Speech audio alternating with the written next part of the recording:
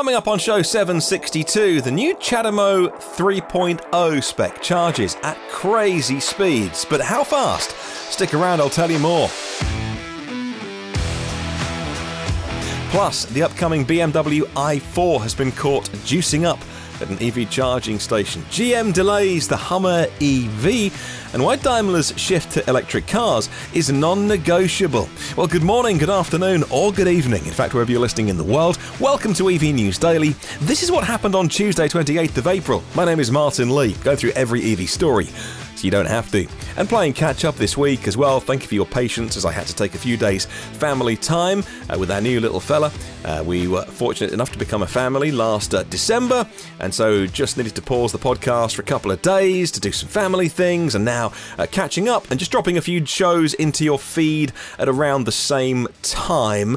Thank you for letting me do that, and thank you to myev.com for helping make the show as well. If you haven't checked it out yet in the USA, MyEV, which is a good name for a website as well, MyEV is a marketplace specifically catering to the needs and wants and desires the EV buyers and sellers of the world. But what do you want from your charge plug? Well, CHAdeMO Association uh, think that they have the answer. Operating under the CHAdeMO Communication Protocol, CHAdeMO 3.0 is the first publication of the next generation ultra high power charging standard. Now, for many people, CHAdeMO is something that they've only seen on a Nissan Leaf, maybe a Nissan ENV 200. Old school Soul had it, didn't it? And a few others as well. Oh, Mitsubishi Outlander. However, for many people, uh, they won't be too familiar with CHAdeMO. Uh, the new standard is being co developed, though, and this is why I think CHAdeMO could well be the way that we all charge EVs, or at least for half the planet in the future. Co developed by China, the China Electricity Council, and the CHAdeMO Association under the new working name Chaoji. The Chinese version, operating under the GBT protocol, will be released next year. Now, yep, so if you knew this, then the plugs on all EVs, even when Tesla make an EV and ship it to China, they will put the GBT plug on because uh, due to the way that China uh, runs itself as a country, uh, you can indeed say, We have this one plug. You will all use one plug. And everyone nods and says yes. Uh, and so they use the GBT plug, of course. Uh, CHAdeMO is another one, uh, CCS Combo plug, and Tesla have their proprietary connector as well. But the latest version of CHAdeMO enables DC fast charging at 500 kilowatts, over 500 kilowatts, a maximum current of 600 amps. It ensures the connector stays light and compact, and a compact cable as well, liquid cooled cable technology, and as well as uh, the removal of the locking mechanism from the connector to the vehicle side, so it doesn't stay on the uh, the, the, the lock is no longer on the uh, the plug, but onto the vehicle. Well, backward compatibility is something that many people talk about when they have new standards being released, and indeed, backward compatibility of CHAdeMO 3.0 is ensured.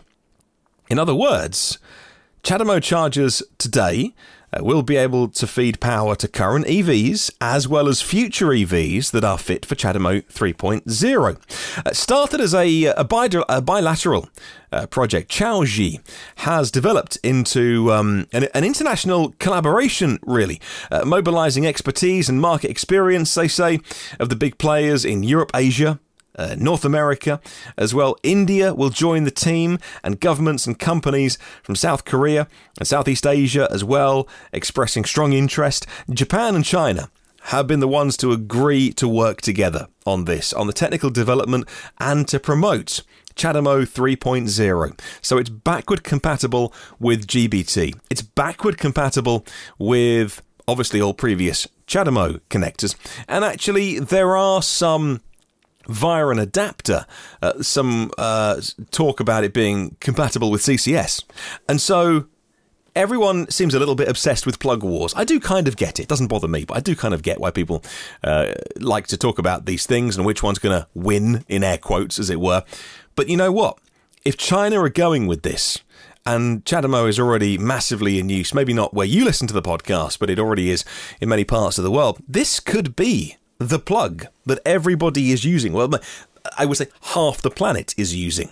Uh, it could well be that in the future there are two plugs. There'll be CHAdeMO and there'll be CCS combo plugs. Now, I had thought for a period of time that maybe CHAdeMO was on its kind of on its way out, not on any cars these days, but by being backward compatible with China. So, firstly, that's millions of cars and chargers, and also just the specs are just enormous like 500 kilowatt charging 600 amps uh, this definitely makes it a very very compelling standard will it be on cars tomorrow no but China looking to roll out Chaoji next year, and it's something that we'll keep a very close eye on because, well, you know, charging that fast is a massive game changer for commercial vehicles, for working vehicles as well. So it makes you wonder where this plug could end up. We'll keep an eye on that story, and I'll pop a link to the CHAdeMO website in the show notes if you want to find out more for yourself.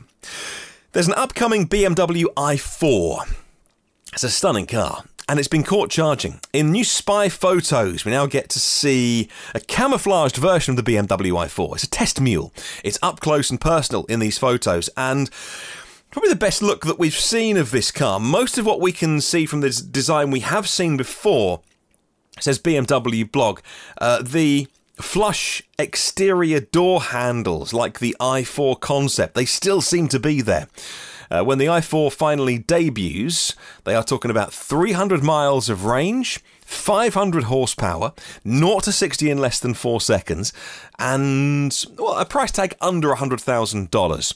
It could well be that for BMW fans, that ticks all of the right boxes. A charge flap for this on the right hand side on the rear bumper, in other words, opposite to where Tesla put it, it's a stunning looking saloon car, saloon sedan. Uh, it swoops down, it's going to just munch away at motorway miles. Do this very, very comfortably.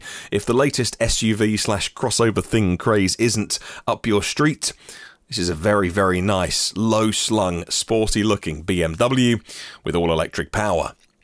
Moving on, General Motors is postponing the debut of the GMC Hummer, the high performance uh, electric pickup bearing the Hummer name because of COVID 19, a spokesman said today.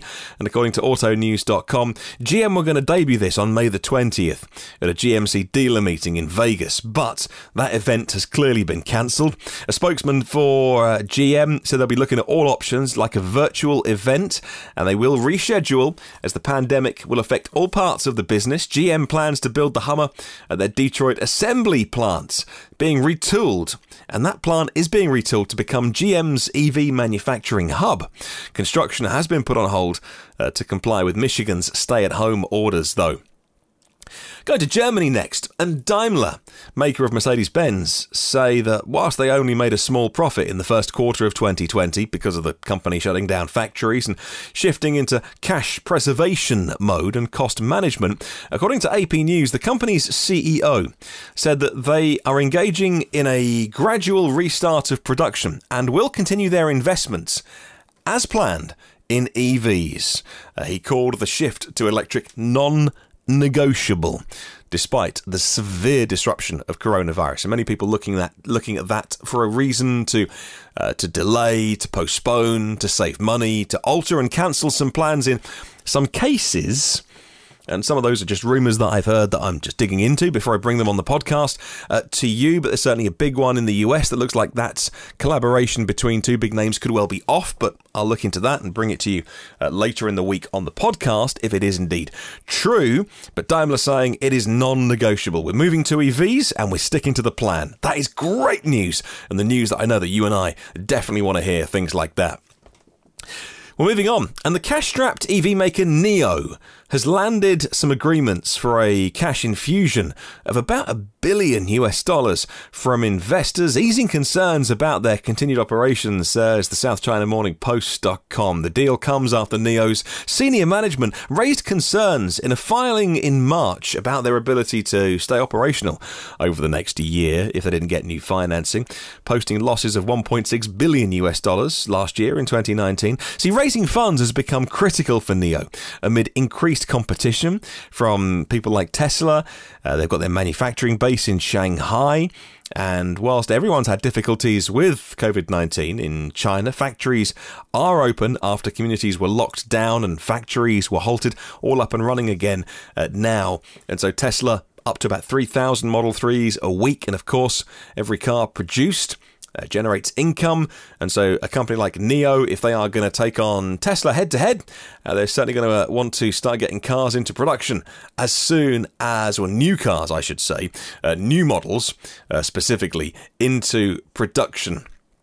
Okay, let's continue and talk about the final story this week and the uh, the use of EVs in various bits of the world that we don't often talk about on this podcast. One of those is for the use by the Army.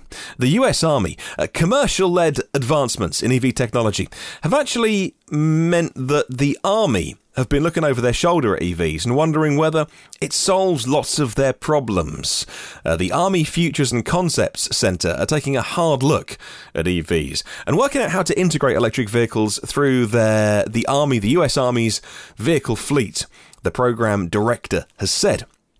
There's a draft white paper proposal uh, focusing on the employment of EVs in the work, says uh, Lieutenant General Eric Wesley. Uh, during a press conference, the head of the Army Futures Command, General John Murray, is going to be amongst those reviewing this proposal uh, for an internal release this summer, and then they'll make some decisions. As the world migrates towards electrification, the US Army are saying there's several reasons why this particular initiative is important to the US Army. For starters, EVs can reduce costs. They can decrease costs, the number of parts required to maintain each vehicle. When a, a vehicle is in theatre and it is needing service, EVs are considerably cheaper and less complicated to repair in some cases. Moreover, the prices of internal combustion engine parts are increasing as the engine component supply chains lower their production over coming years and move to EV. Beyond vehicle maintenance, the Army also considers the logistical challenges and costs associated with in theatre things like supply routes dependency on fossil fuels, getting in fossil fuels to fuel those vehicles that are being used uh, continues to be a challenge, and it becomes more difficult to move fuel across battlefields. Electric and electrification could provide, although it's not a you know, not waving a magic wand and fixing all of the army's problems in one go. It does provide an alternative approach, and it will lessen the army's fuel dependency he said.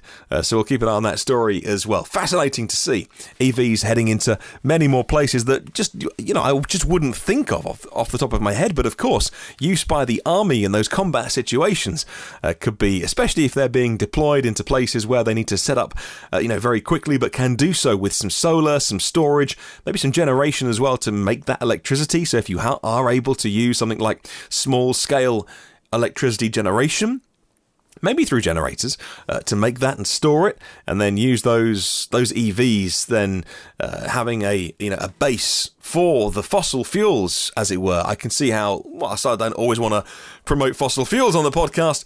You know, having one place where the electricity was generated and then being able to use those vehicles uh, certainly uh, makes you think, oh man, you know, EVs can be used in many different situations. Question of the week this week on Sunday, reading out your answers to what car you have driven in your lifetime, either past or present, that you would love to convert to electric power. Email me anytime about any subjects. My address is hello at evnewsdaily.com. Leave a comment on the YouTube show. Thank you to 233 patrons of the podcast. Your sheer generosity means that this show makes its way on the air. If you would like to have a look at what it's all about, Patreon is a place where you can support creators. P-A-T-R-E-O-N dot com slash EV News Daily. Any reviews welcomed via Apple Podcasts helps grow the show. Have a wonderful day. I'll catch you tomorrow. And remember, there's no such thing as a self-charging hybrid.